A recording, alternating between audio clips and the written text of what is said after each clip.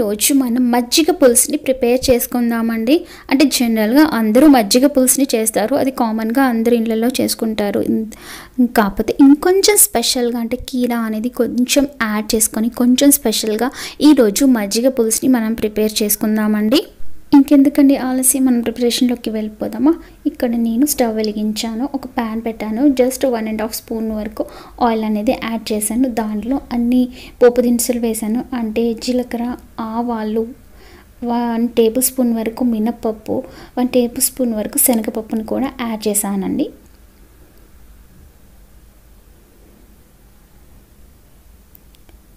Next నేను ఇక్కడ ఆనియన్స్ని యాడ్ చేస్తానండి. కొంచెం పెద్దగా తరుక్కున్న ఆనియన్స్ని యాడ్ చేసుకోవాలి.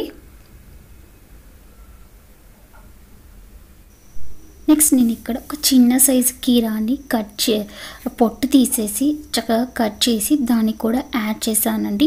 నెక్స్ట్ నేను ఇక్కడ ఎండుమిర్చిని చిన్న ముక్కల్లాగా కట్ చేసి వాటిని కూడా యాడ్ చేశానండి. నెక్స్ట్ నేను ఇక్కడ ఒక రెండు పచ్చిమిర్చిని కట్ చేసి వేసానండి ఇవన్నీ బాగా మిక్స్ చేసుకుందాము. నెక్స్ట్ నేను ఇక్కడ ఒక ఈచ్ అల్లం ముక్కని సన్నగా తురిమానండి. దాన్ని కూడా వాటిలో యాడ్ చేసుకుందాము. నెక్స్ట్ మనం ఇప్పుడు కాస్త కరివేపాకుని కూడా యాడ్ చేసుకుందామండి.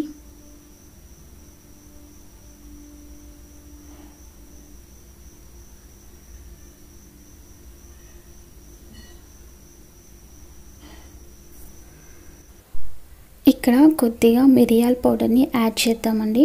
మిరియాలని కొంచెం కచ్చపక్కగా దంచుకొని ఆ మిరియాల పొడి దాంట్లో వేసానండి. ఫైన్ పౌడర్ కాదు. కొంచెం కచ్చపచ్చగా దంచుకున్న మిరియాలని మజ్జిగ పులుసులో ఎప్పుడైనా అల్లాన్ని కానీ మిరియాలని కానీ వేస్తే మంచి టేస్ట్ వస్తుందండి.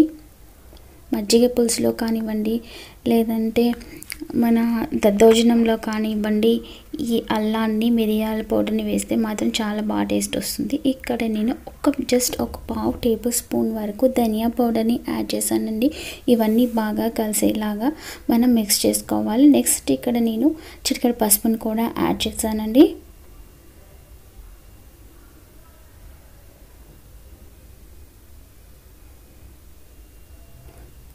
టేస్ట్కి తగ్గట్టుగా సాల్ట్ని కూడా యాడ్ చేసుకుందాము.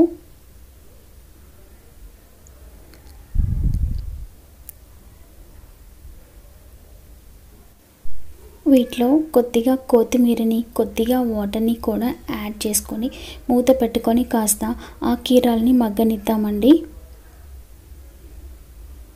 కొద్దిగా వాటర్ అనేది యాడ్ చేశాను. మూత పెట్టుకుంటే చాలా త్వరగా మగ్గిపోతాయండి కీర.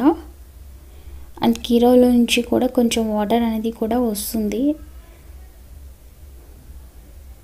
ఇక్కడ కీరా మగ్గిపోయిందండి. నేను ఇక్కడ నేను స్టవ్ని ఆఫ్ చేసేస్తున్నాను.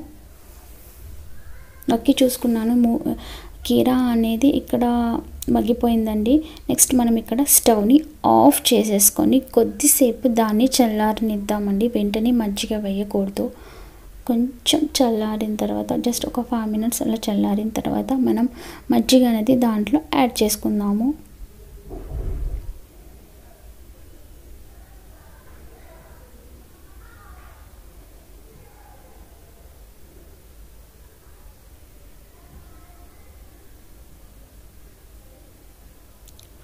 అంతే అండి మన కీరా మజ్జిగ పులుసు అనేది రెడీ అయిపోయింది. అన్నంలోకి చాలా చాలా బాగుంటుందండి. స్పెషల్గా సమ్మర్లో అయితే ఇలా చేసుకొని తింటే చాలా చల్లగా ఉంటుందండి. చల్ల చల్లగా మన మజ్జిగ పులుసుతో అన్నాన్ని తీసుకుంటే ఈ సమ్మర్లో చాలా చాలా టేస్టీగా ఉంటుందండి. మీరు అందరూ తప్పకుండా ట్రై చేసి చూడండి. ఎలా వచ్చిందో అనేది నా కామెంట్స్లో షేర్ చేయండి. ఐ హోప్ ఈ వీడియో మీకు నచ్చిందని అనుకుంటున్నానని నచ్చితే కనుక ఒక్క లైక్ చేయండి. ఫస్ట్ టైం నా వీడియో కనుక చూసినట్టయితే సబ్స్క్రైబ్ చేసుకోవడం మాత్రం ప్లీజ్ అస్సలు మర్చిపోకండి. మీకు కనుక ఈ వీడియో నచ్చినట్టు కనుక అయితే మీ ఫ్రెండ్స్ అండ్ ఫ్యామిలీ మెంబర్స్కి కూడా షేర్ చేయండి. సబ్స్క్రైబ్ చేసుకోవడం మాత్రం అస్సలు మర్చిపోకండి. కింద వచ్చే బెల్ బటన్ని కూడా యాక్టివేట్ చేయండి. అలా చేయడం వల్ల నేను చేసే ప్రతి ఒక్క వీడియో మీకు నోటిఫికేషన్ ద్వారా వస్తుంది. Thank you for watching